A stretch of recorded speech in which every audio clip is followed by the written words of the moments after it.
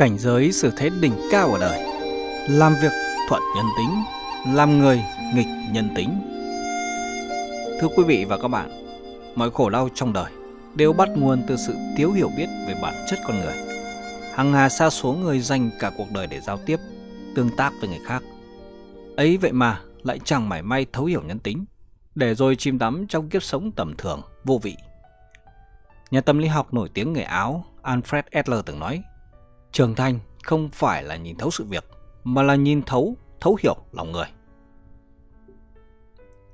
Kẻ thực sự thông tuệ, khôn ngoan chính là bậc thầy trong nghệ thuật, thuận theo nhân tính để làm việc, nghịch theo nhân tính để tu thân.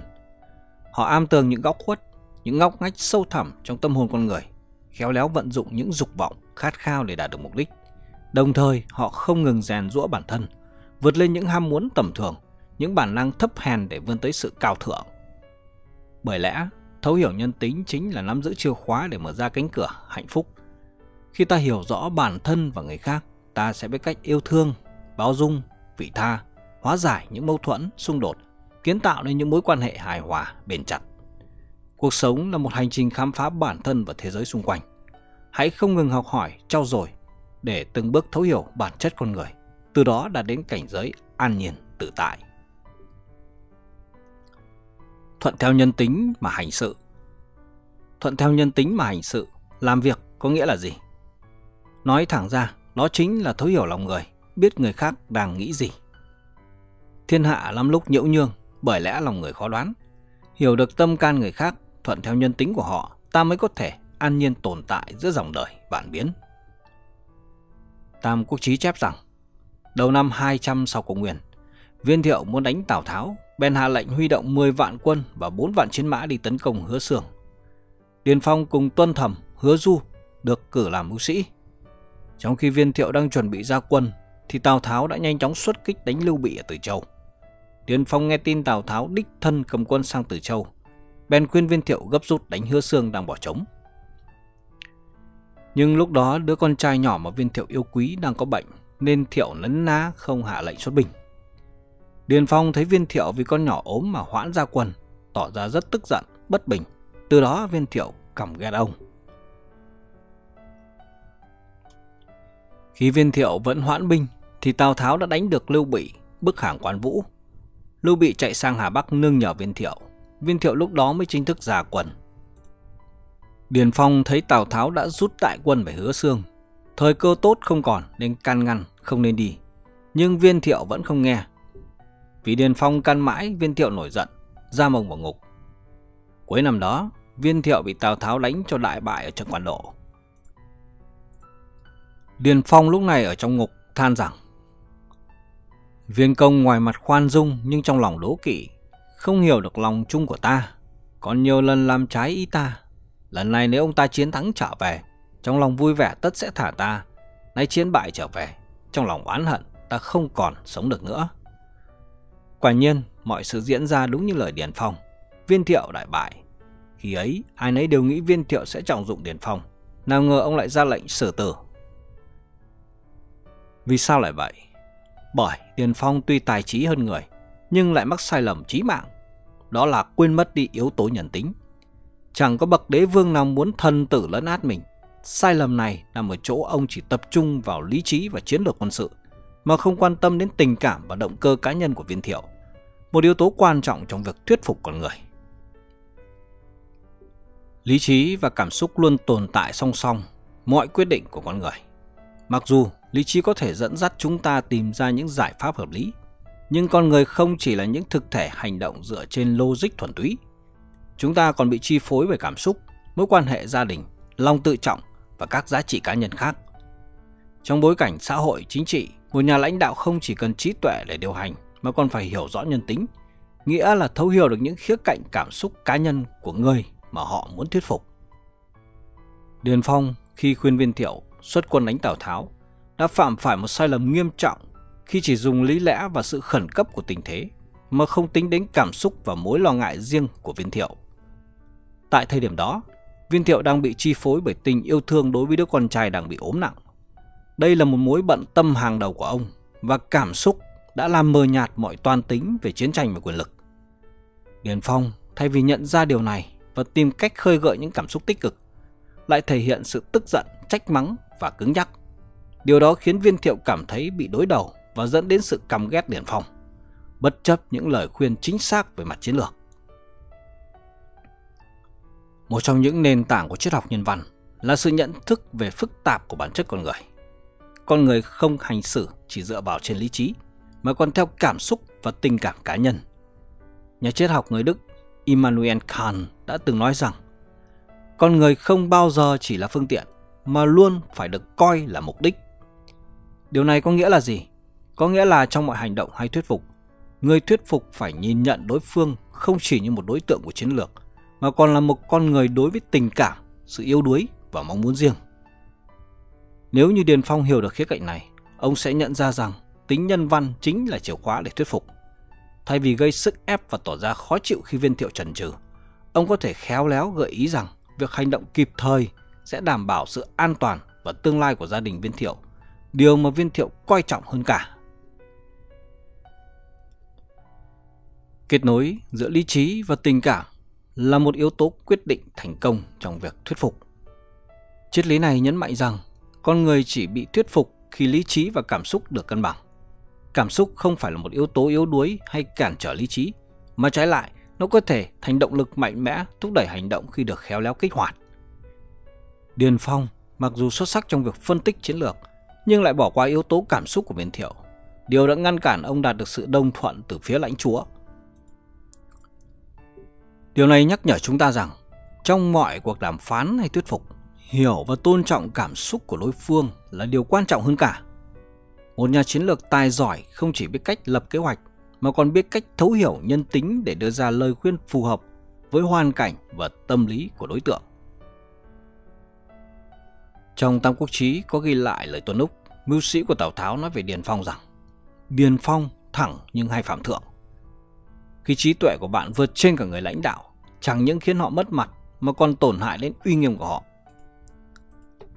Để bảo toàn danh dự, viên tiệu sư trảm Điền Phong cũng là điều tất yếu.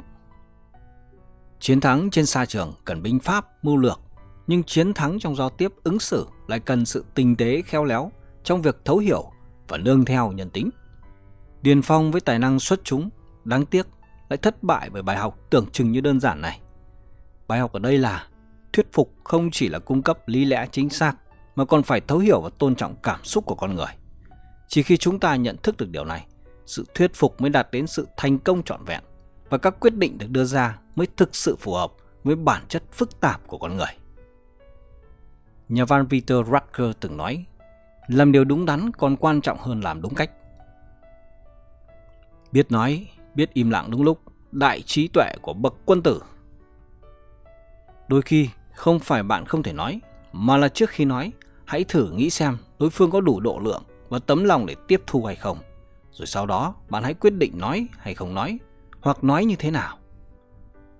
Cũng là bậc kỳ tài mưu lược, Tuân Núc lại có một đại trí tuệ khác biệt.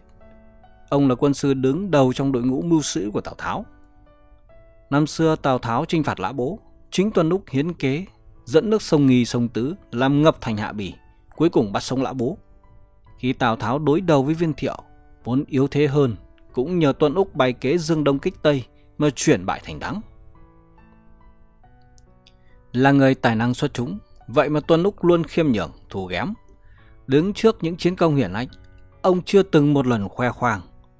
Trong quá trình cộng sự với Tào Tháo, ông còn thường xuyên cố ý mắc phải những lỗi nhỏ để Tào Tháo sửa chữa, ngầm tạo cho đối phương cảm giác vượt trội. Chính vì vậy, Tuân Úc rất được Tào Tháo tin tưởng, trọng dụng, thậm chí còn được tôn xưng là mưu chủ phải nói rằng, thành công của Tuân Úc phần lớn đến từ sự thấu hiểu và nắm bắt nhân tính một cách tinh tế của ông. Ông không chỉ giỏi về mưu lược mà còn am tường lẽ đời, biết cách ứng xử sao cho hài hòa, dung hợp để vừa bảo toàn được bản thân vừa đạt được mục tiêu. Đó chính là trí tuệ của bậc quân tử, khéo léo như nước, uyển chuyển như mây, trường tồn cùng thời gian. Giữa cuộc sống bộn bề, người càng trí tuệ, càng thấu hiểu người khác lại càng tinh tường những góc khuất trong nhân tính.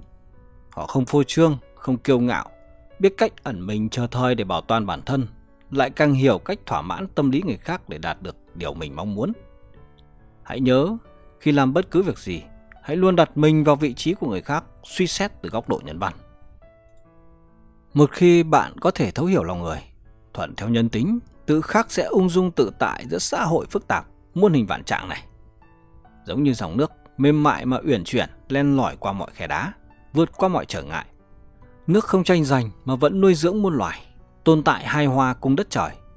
Người khéo léo, ứng xử cũng vậy, không cần phô trương thành thế mà vẫn đạt được mục đích, vững vàng tiến bước trên đường đời. Đó chính là sức mạnh của sự thấu hiểu, là nghệ thuật sống hài hòa, là bản lĩnh của người quân tử giữa dòng đời vạn biến. Vượt lên bản năng, nghịch dòng nhân tính làm người. Nghịch dòng nhân tính là gì?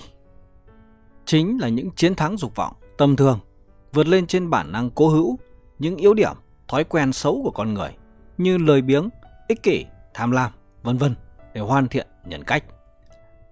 Ai trong chúng ta sinh ra cũng mang trong mình những yếu tố hướng xuống, ham muốn ăn nhàn, thích hưởng thụ, muốn sống một cuộc đời dễ dàng thoải mái.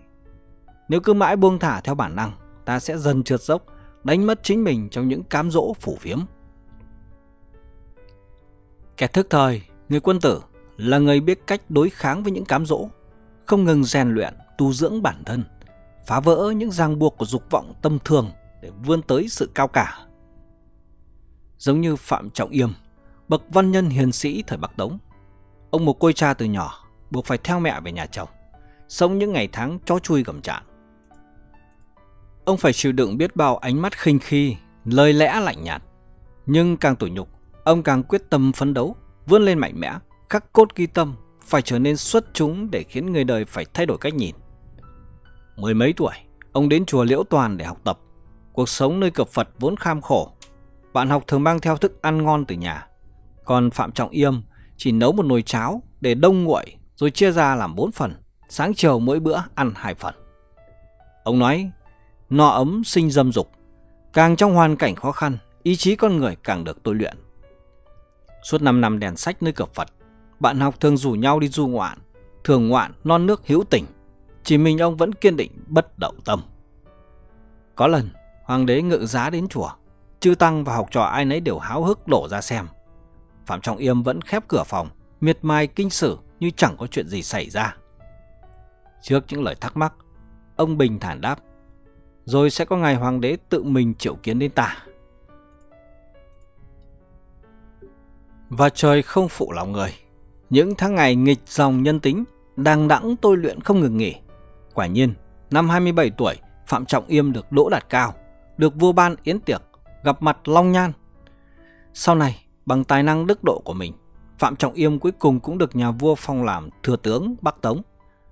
Về đạo đức, chính trị, Phạm Trọng Yêm có tôn chỉ trong ngôn hành sự được lưu truyền muôn đời đó là Tiên thiên hạ chi yêu nhi yêu, hậu thiên hạ chi lạc nhi lạc. Có nghĩa là lo trước cái lo của thiên hạ, vui sau cái vui của thiên hạ. Đôi khi khoảng cách giữa người với người chính là khả năng chế ngự bản thân, kiềm chế dục vọng. Buông thả, chìm đắm trong những thú vui tầm thường sẽ khiến ta ngày càng trở nên tầm thường hơn, nhạt nhòa hơn, Ngược lại, biết tiết chế, rèn luyện bản thân, ta sẽ từng bước lột xác, hoàn thiện chính mình trên con đường học vấn sự nghiệp. Tô Tần thời chiến quốc, vốn xuất thân nghèo khó, không dòng dõi châm anh cũng chẳng có chỗ dựa quyền thế. Nhưng khi đã hạ quyết tâm lập nên nghiệp lớn, ông liền treo tóc trên xà nhà, dùng dùi đâm vào đùi để ép mình học tập. Người ta ăn chơi hưởng lạc, ông ép mình ở nhà đọc sách, người ta tiêu xài hoang phí, ông vẫn miệt mài đèn sách. Chính sự khổ luyện, tự ép mình đến cực hạn ấy đã giúp Tô Tần trở thành thừa tướng của sáu nước vang danh sử sách. Nhà Hiền Chiết Vương Dương Minh từng nói, người phải có lòng vì mình mới có thể khắc chế bản thân, có thể khắc chế bản thân mới có thể thành tựu chính mình. Câu chuyện của Phạm Trọng Yêm và Tô Tần như một lời nhắc nhở sâu sắc giúp chúng ta rằng Nhân sinh khổ ải, đường đời trông gai, chỉ có ý chí kiên cường, nghị lực phi thường cùng tinh thần vượt khó chiến thắng bản thân mới giúp con người khuất phục nghịch cảnh, vươn tới thành công. Đó chính là nghịch dòng nhân tính, là bản lĩnh, là sức mạnh tự chủ của người quân tử, là tinh thần tự cường bất khuất mà mỗi người trong chúng ta cần phải học hỏi, tu dưỡng. Khắc chế sự lời biếng, ta mới có thể thành người tự giác, chế ngự dục vọng tầm thường, ta mới có thể vươn tới sự xuất chúng. Suy cho cùng, học cách đấu tranh với chính bản thân mình, vượt qua những ràng buộc của bản năng, ta mới có thể phá vỡ những rào cản của số phận, nghịch chuyển vận mệnh, làm chủ cuộc đời. Con người ta sinh ra vốn mang trong mình những yếu tố hướng xuống, ham muốn an nhàn, thích hưởng thụ, dễ dàng thỏa hiệp với bản thân. Nếu cứ mãi buông thả, ta sẽ dần bị trói buộc bởi sự lời biếng, trì trệ và những cám dỗ tầm thường. Nhưng nếu biết cách tự soi xét tỉnh thức và không ngừng nỗ lực, ta sẽ từng bước vượt qua những giới hạn của bản thân, vươn tới những tầm cao mới. Giống như viên ngọc thô phải trải qua mài rũa, tôi luyện mới tỏa sáng rực rỡ. Hãy nhớ rằng cuộc đời là một hành trình chinh phục và đối thủ lớn nhất chính là bản thân ta. Chiến thắng chính mình, chế ngự những ham muốn tầm thường, ta mới có thể làm chủ vận mệnh, tạo nên những kỳ tích phi thường. Thưa quý vị và các bạn, nhân tính thật là môn học thâm sâu bí ẩn. Thấu hiểu nhân tính, thuận theo nhân tính và quan trọng hơn cả là khắc phục những yếu tố hướng xuống trong nhân tính.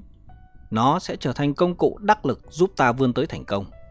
Ngược lại, nếu cứ chống đối chỉ trích, oán trách nhân tính, nó sẽ trở thành xiềng xích trói buộc ta, cản trở bước tiến của ta. Thuận theo nhân tính để hành sự, nghịch dòng nhân tính để trưởng thành. Giữa thế giới đầy rẫy những phức tạp, tranh đấu này, hãy không ngừng trau dồi năng lực, nâng cao trình độ ứng xử. Bạn ắt sẽ nhận được sự ưu ái của số phận. Nhân tính như con dao hai lưỡi, vừa có thể giúp ta thành công, lại vừa có thể khiến ta thất bại. Người khôn ngoan biết cách vận dụng nhân tính làm đòn bẩy, biến nó thành sức mạnh để vượt qua thử thách, vươn tới đỉnh cao. Họ hiểu rằng chìa khóa để chiến thắng không nằm ở việc chống đối hay phủ nhận bản năng, mà là ở khả năng chế ngự, điều khiển và sử dụng nó một cách khéo léo. Cuộc sống là một hành trình dài, và trên con đường ấy, ta sẽ gặp vô vàn khó khăn thử thách. Nhưng chỉ cần có đủ bản lĩnh, đủ trí tuệ, ta hoàn toàn có thể thuận theo nhân tính mà hành sự, nghịch dòng nhân tính mà trưởng thành, và cuối cùng gặt hái được những thành quả viên mãn đầy ngọt ngào. Chúng tôi xin kết thúc bài chia sẻ của mình tại đây. Xin chân thành cảm ơn quý vị và các bạn đã dành thời gian quý báu của mình để lắng nghe bài chia sẻ này. Một lần nữa xin kính chúc quý vị và các bạn cùng gia đình luôn luôn được hạnh phúc, thành công và bình an trong cuộc sống. Xin trân trọng kính chào và hẹn gặp lại.